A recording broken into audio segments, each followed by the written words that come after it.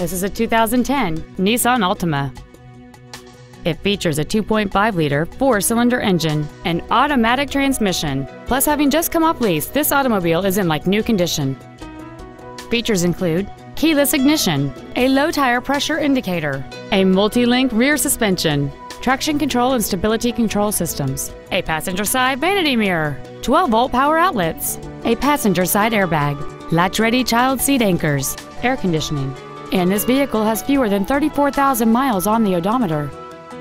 Please call today to reserve this vehicle for a test drive.